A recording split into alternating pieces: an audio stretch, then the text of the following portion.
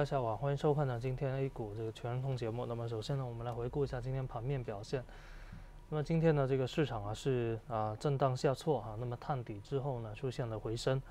那么上证综指呢收报两千七百七十九点，跌百分之零点三四；上证五零呢跌百分之零点三一，收报两千六百八十五点；创业板指呢是收报一千九百一十七点，那么跌百分涨百分之零点三六。那么今天呢，这个市场啊是啊出现了一个缩量，八千一百八十一亿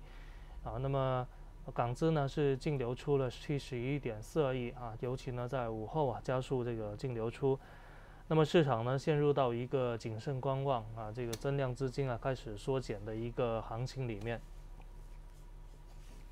啊。那么今天的市场探底回升呢，情绪谨慎。那么盘面上呢，计算机、传媒、电子元、电子设备跟新能源、建筑板块领涨，领跌板块呢主要是通家电、通信、有色金属跟这个房地产为主。好，那么可以看到呢，这个。啊，随着海外疫情的一个扩散呢，对流动性的一个估压啊，以及呢对中国经济的一个深层次影响呢，今天这个市场啊是继续呢重心向下，那么逼近了这个啊二月三号这个国内疫情爆发之后啊开市的这个啊这个位低的一个啊低点，大概在两千六百八十五左右啊，那么情绪呢趋于谨慎之下呢，今天市场缩量下探这个两千七百点。这个位置上啊，这个支支撑呢，我觉得后面呢还是相对啊，啊会反复的考验，啊，那么有没有可能再创下一个低点呢？哈，我觉得是有的。那毕竟呢，这个位置呢，相对于一八年底啊市场担忧经济衰退的那个底啊，还要高出这个啊两百个点左右。那么现在的一个全球的一个市场经济局势啊。啊，实际上呢，已经比一九年底啊、一九年初啊那一种衰退呢更为严重。那么，如果按照这样的一个逻辑推断的话呢，那么沪指啊，呃，如果啊这个沪指啊会不会呢再创出介于这个两千四百四百五哈到这个两千六百八这样中间的一个低位呢？啊，我觉得呢可能性还是比较大的。啊，那么呃消息面来看，今天啊有一个。啊，比较这个有趣的事情就是这个北向资金港资呢，在早盘呢市场遭受估压的情况之下呢，这一股力量啊，并没有这个太大的一个净流出，但是在午后就不一样了，这个资金呢开始这个大幅剧烈的一个净流出，啊，那么这一块呢，我觉得呢可能跟这个一个消息有关，就是这个罗氏附属啊罗这个富时啊罗素呢，本来呢是宣布啊在这个。星期五之后呢，宣宣布三月份呢，啊将会一次性的纳入这个 A 股啊，最后一轮这个扩容，接近了一千亿的一个人民币增量资金会入场。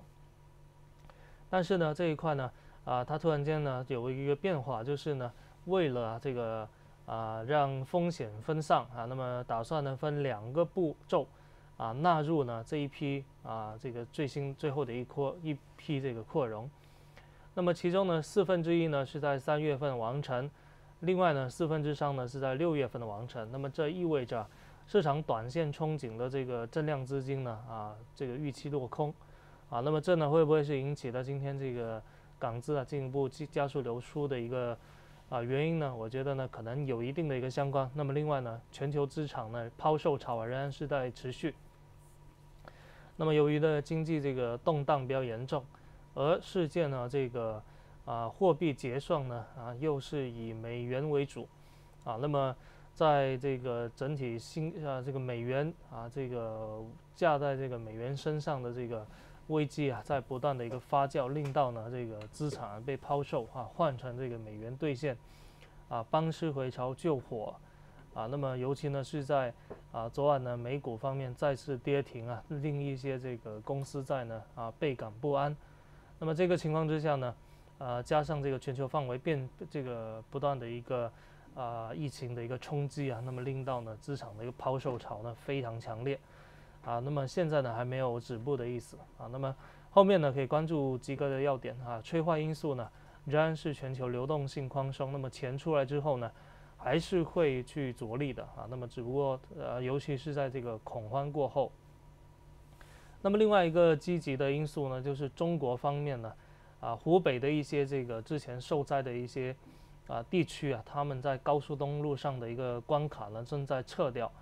那么湖北啊，全国之前支支援湖北这个啊这个抗疫的一些医疗团队呢，正在这个向啊这个四面八方退啊这个撤退啊，那么说明了啊湖北省呢这个抗疫呢已经是啊离这个啊这个已经是进一步呢有一个向好的一种迹象出来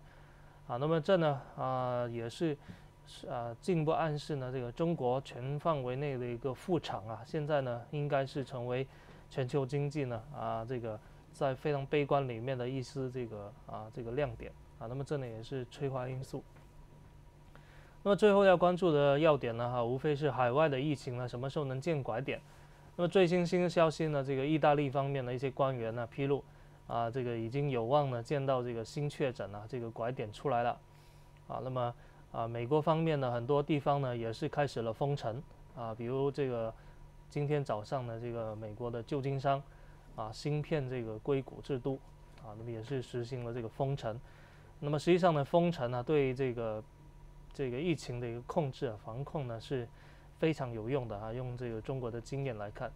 啊，那么如果呢更多的一个海外地区加入到这样的一个队列里面呢，那么对于疫情拐点的一个出现的一个时机啊，将会。啊，更加这个确定啊，那么恐慌的一个抛售啊，自然呢就会越来越少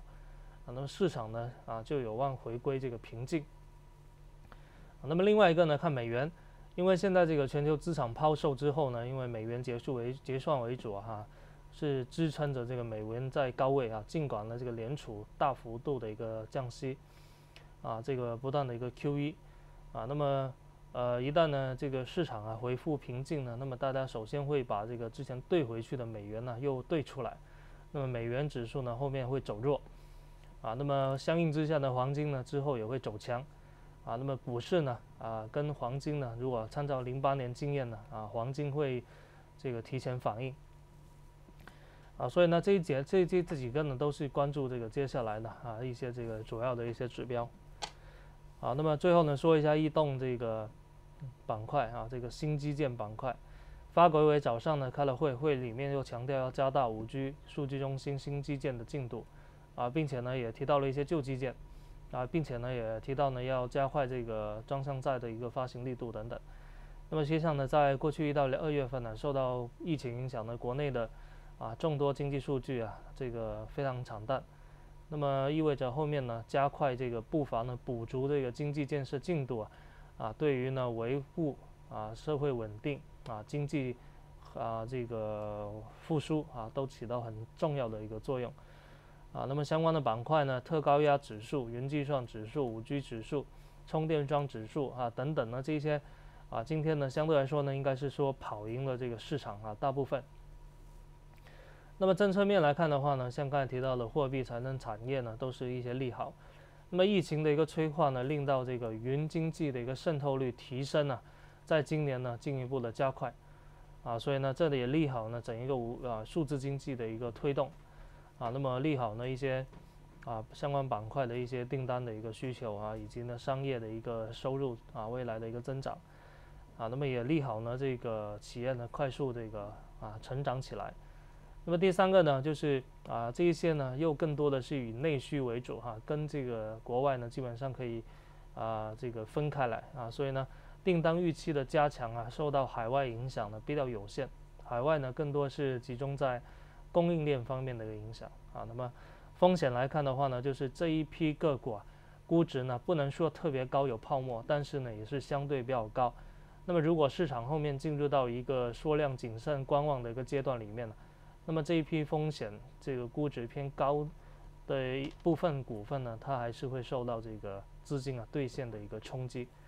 好，那么上面提到个股没有持有，那么明天的节目里面呢，好，我们再见。